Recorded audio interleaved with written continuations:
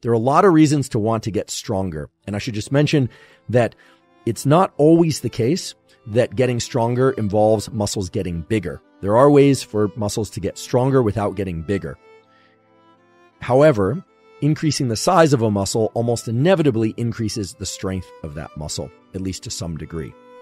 Reasons why most everyone should want to get their muscles stronger is that muscles are generally getting progressively weaker across the lifespan. So when I say getting stronger, it's not necessarily about being able to move increasing amounts of weight in the gym. Although, if that's your goal, what I'm about to discuss will be relevant to that. But rather to offset some of the normal decline in strength and posture and the ability to generate a large range of movement safely that occurs as we age. We just tend to lose function in this neuromuscular system as we get older.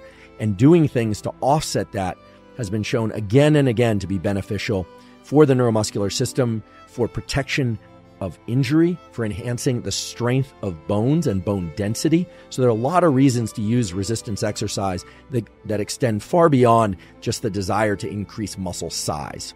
Because I know many of you are interested in increasing muscle size, but many of you are not. You have to go to failure or beyond in order to stimulate growth.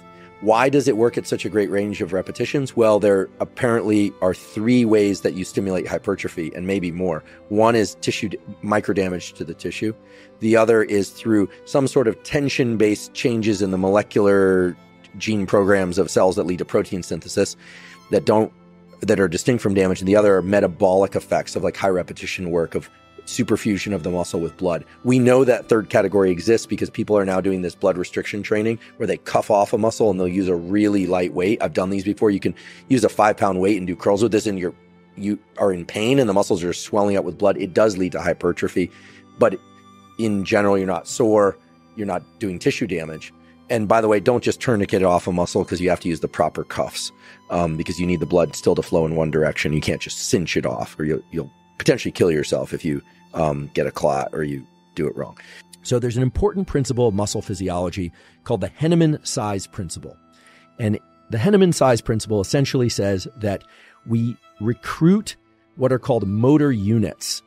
Motor units are just the connections between nerve and muscle from a in a pattern that staircases from low threshold to high threshold. What this means is when you pick up something that is light, you're going to use the minimum amount of nerve to muscle energy in order to move that thing.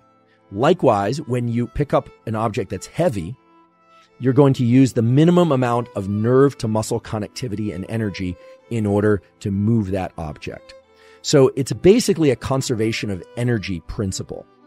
Now, if you continue to exert effort of movement, what will happen is you will tend to recruit more and more motor units with time.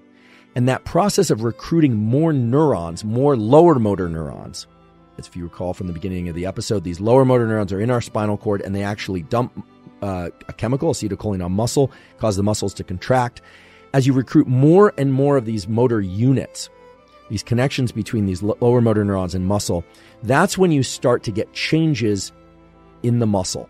That's when you open the gate for the potential for the muscles to get stronger and to get larger if that's what your goal is. And so the way this process works has been badly misunderstood in the kind of online literature of weight training and bodybuilding and even in sports physiology. The Henneman size principle is kind of a, a, a foundational principle within muscle physiology. But many people have come to interpret it by saying that the way to recruit high threshold motor units, the ones that are hard to get to, is to just use heavy weights. And that's actually not the case. As we'll talk about, the research supports that weights in a very large range of sort of uh, percentage of your maximum, anywhere from 30 to 80%. So weights that are not very light, but are moderately light to heavy can cause changes in the connections between nerve and muscle that lead to muscle strength and muscle hypertrophy. Pick three exercises, compound exercises, multi joint uh, movements. Do them for, do three to five exercises for three to five repetitions per set, rest three to five minutes, and do that three to five times per week. What's interesting about this is three to five times a week is a lot for a muscle group. Squatting th- five times a week for five reps, meaning you're working pretty heavy, meaning you're close to failure, but not failure for strength generally. Heavy weights can help build muscle and strength, but they are not required. What one has to do is adhere to a certain number of parameters, just a couple of key variables that I'll spell out for you. And if you do that, you can greatly increase muscle hypertrophy, muscle size, and or muscle strength if that's what you want to do. And you don't necessarily have to use heavy weights in order to do that. People who are training mostly for strength can do these low rep type regimens frequently because most of the adaptation is neural and because you're not pushing to failure in most cases, you don't get that sore. And so it's the motor neurons getting the muscle fibers to contract more intensely or with more efficiency in other ways that's leading to these strength gains. And this is why powerlifters can train every day or five days a week or four days a week.